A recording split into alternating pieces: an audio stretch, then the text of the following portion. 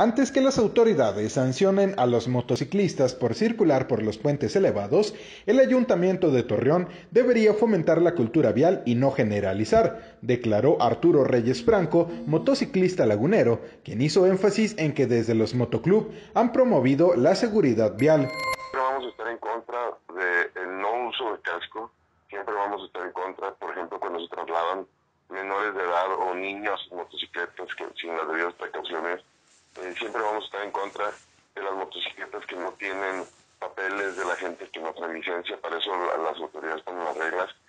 Pero creo que las autoridades en este caso están haciendo una medida meramente recaudatoria Reyes Franco dijo que prohibir a los motociclistas usar los pasos elevados los exponen más a accidentes, ya que en el periférico Raúl López Sánchez, en los carriles laterales, los autobuses de pasajeros y los taxis que operan ilegalmente como cinqueros se frenan e invaden carriles sin precaución, además de que la modificación al reglamento es imprecisa.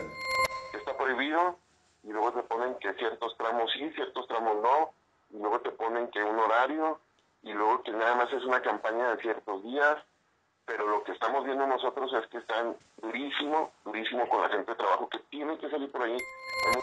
Este domingo, alrededor de 500 motociclistas que pertenecen a algunos de los motoclub de La Laguna se manifestaron en la Plaza Mayor de Torreón por estas medidas. Sin embargo, Arturo Reyes dijo que los más afectados son los motociclistas que utilizan estas unidades como medio de transporte económico o para trabajar.